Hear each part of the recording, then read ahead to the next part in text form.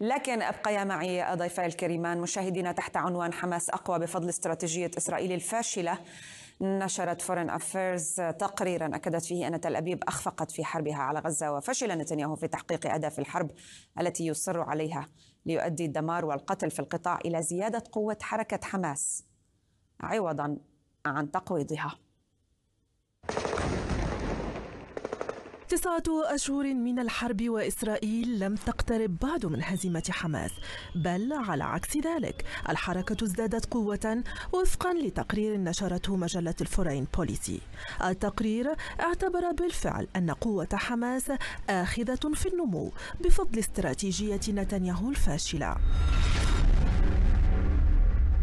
التقرير اعتبر أيضا أن شهور الحرب الطويلة حول كتائب القسام إلى قوة عصابات مسلحة عنيدة ومميتة تنصب الكمائن والقنابل بشكل غير مركزي مئة بالمئة.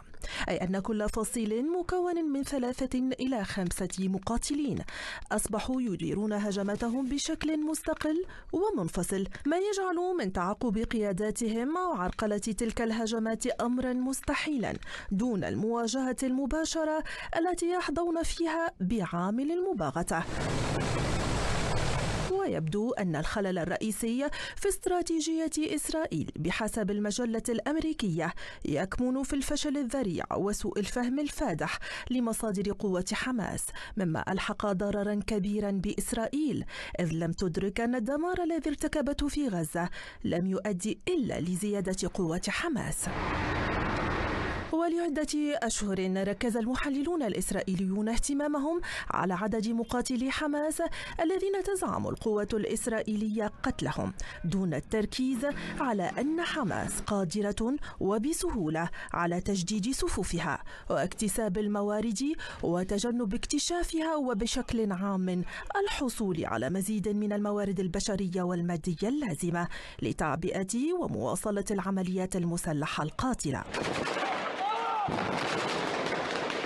ورغم تدمير غزة والحديث عن تقويض قدرات الحركة. من المرجح أن لدى حماس نحو 15 ألف مسلح تحت الأرض بحسب مصادر فورين أفيرز كما لا تزال أكثر من 80% من شبكة الأنفاق صالحة للاستخدام في التخطيط وتخزين الأسلحة والتهرب من المراقبة والاحتفاظ بالأسرى وشن هجمات على القوات الإسرائيلية.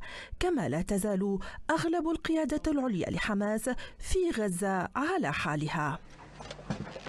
نعود إلى ضيفينا الأكاديمي بالكنيسة الدكتور يوسي يونا والدكتور إحسان الخطيب أستاذ العلوم السياسية آه، في آه، جامعة موري ستيت. آه، دكتور إحسان ألم تكن واشنطن مشاركة استخباراتيا في ومطلعة على كافة مراحل العمليات العسكرية في غزة منذ بدء الهجوم الإسرائيلي؟ يعني ما سبب هذا التقرير؟ أكيد. أكيد أمريكا شريكه كاملة في هذه الجريمة في غزة. للأسف يعني دعم غير محدود مخابراتي على جميع الأصعدة دعم استثنائي استثنائي. وهو الذي أوصل يعني والكارثة الاسرائيليه هذا الدعم الاستثنائي أودى بهم إلى هذه الكارثة التي هم بها في هذا الفشل. الدولية. م. نعم فشل فشل استثنائي. ومنذ البداية بالأساس يعني الامريكي نصحهم أن لا يدخلوا إلى غزة. قال لا تدخلوا إلى غزة. إذا دخلتم غزة هناك كارثة عليكم وعلى الفلسطينيين. لم يكترث الإسرائيلي ودعمه الأمريكي بلا حدود بلا شروط بشكل استثنائي ووصل الإسرائيلي إلى هذه. يعني شوفي أنا أعتقد ما حصل بغزة إنه الإسرائيلي كان كان يريد خلق نكبه جديده يعني طرد الفلسطينيين إلى مصر، مصر سكرت الباب عليهم ففشلوا بالبدايه لما قالت مصر لا للتهجير معناتها انتهت العملية المهمة فشلت العملية العسكرية فشلت عملية التهجير. نعم فشل التهجير وإضافة إلى ذلك هناك تبرير دي مشكله أخرى تبرير ديني. يعني لما يقول نتنياهو هؤلاء العماليق يعني العماليق بالعهد القديم بالإنجيل آه، قتلوا محو محو العماليق يعني محو ذكر العماليق. فهذا يعني تبرير للتنكيل بهذا الشعب. دائما يعني هناك دراسات يعني شيء بديهي بالعلم السياسي أنه يجب فصل بين المدنيين وبين العصابات العصابات المسلحة يعني تعبير العصابات المسلحة. طيب على سيرة العصابات. على سيرة العصابات وعدم الفصل. الفورن أفيرز أيضا دكتور يوسي قالت من المرجح أنه لدى حماس 15 ألف مقاتل تحت الأرض. يعني اليوم المشاهد العادي يسأل هل فشلت كل تقنيات آه، إسرائيل وأمريكا في كشف أماكن هؤلاء والوصول إلى هذه الأنفاق؟ يعني ألم يؤكد قادة الجيش الإسرائيلي بأنهم آه، قضوا على مناطق قوة حماس في 15 ألف مقاتل؟ طلعي المشكلة حسب رأيي هي المشكلة السياسية.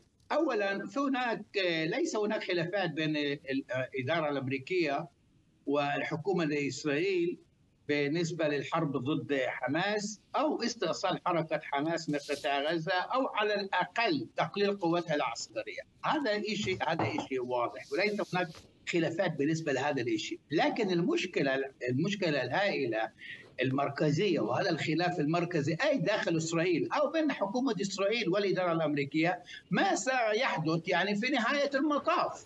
إذا كانت يعني خلينا نقول أهداف أهداف الحرب أو من أهداف الحرب تقليل خلينا نقول ليس يعني استئصال حركة تقليل حركة حماس تقليل قوه حركة حماس في قطاع غزة. وبعدين نخوض إلى مفاوضات ما ليس مع حماس لكن طبعا هناك مبرر أنه ليس تكون هناك مفاوضات مع حركة حماس لأنه حركة إرهابية وخاصة بعد ارتكاب ارتكاب المجال. لكن هذا هذا يعني الطلب الأمريكي وهذا الطلب من قبل آه، المعارضة الإسرائيلية غانتس آه، وايزنكوت وخاصة وطبعا من داخل الليكود نفسه قال وزير الدفاع الإسرائيلي أنه يستعد نتنياهو يتكلم عن نهاية المطاف. وإذا حكينا على نهاية المطاف هذا سيكون هناك خلينا نقول إنجاز ازدواجي بين الإنجازات العسكرية والإنجازات السياسية. لكن نتنياهو لا يريد أن يتكلم خشية يتكلم عن نهاية المطاف خشية من آه، آه، خشية من رد فعل من قبل الأحزاب المتطرفة. هذه المشكلة. وطبعا أنا موافق مع هذا التحليل بأنه شو راح يصير؟ إذا لا يكون هناك لا يكون هناك بديل التي يسود الأمور في قطاع غزة، شو معناها؟ أنه جيش اسرائيل يبقى في قطاع غزة ونرى نفس نفس نفس الوضع اللي آه، إلى نعين منه في آه، جنوب لبنان حتى 1900 نسيت التاريخ لكن بعد حرب لبنان الثانية. هذه المشكلة. وهناك طبعا هناك خلينا نقول فشل كيف ما قلت ازدواجي عسكري سياسي ذريع آه، من آه، قبل حكومة نتنياهو. دكتور إحسان هل كان احتضان إدارة بايدن لنتنياهو سلبيا على إسرائيل؟